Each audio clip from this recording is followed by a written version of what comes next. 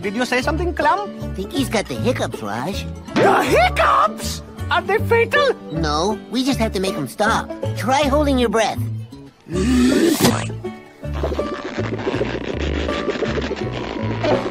Lazlo, why is that Scout Blue? We're trying to get rid of his hiccups, sir. The only way to get rid of the hiccups is to scare 'em out. Scare them out, huh? Well, we've got an errand to run, Clam. We'll see you back at the cabin. Oh! That didn't work. We'll have to come up with something scarier. Now, all we gotta do is pour this honey on you. Now, you just sit there, Clam, and that should get rid of your hiccups.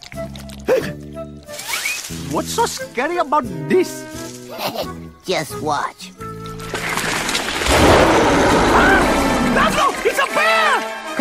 I pretty scary, huh? What's he doing? He's licking him? Wow, what a view!